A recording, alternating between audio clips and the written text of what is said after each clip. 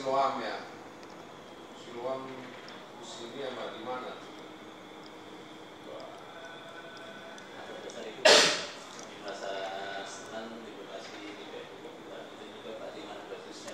Pak Saya Pak. Arman ya jadi gini saya itu kan sederhana siapa pun juga orang yang mau menanamkan investasinya tentunya kan harus diberikan jaminan itu kepastian itu kota ini nggak akan maju kalau kita terkungkung pada persoalan itu bilang gimana kayak mau tidak suka yang jelas pemerintah itu tidak akan mampu menyediakan sarana-sarana kesehatan. Saya sebentar lagi selesai 8 lantai buat tanpa kelas kartu sehat saya. Di belakang itu. Kemarin kan 8 lantai ini. Bahkan nanti 1 Januari kita mau bangun lagi 8 lantai lagi. Ada tiga blok yang baru di belakang sini. Yang yang ya, Pak? Hah? Harus Harus sudah. sudah.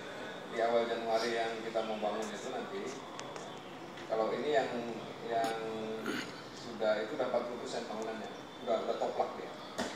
Itu yang buat kartu sehat saya.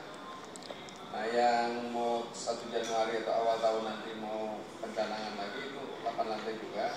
Nanti khusus paru dan rehabilitasi narkoba sama HIV Ya. tentunya kan pasiennya bukan pasien kelas menengah ke atas karena dia pasti punya pangsa pasar. Pangsa pasarnya ada di global silakan nah, yang miskin-miskin ini kan pasti bagian saya nih.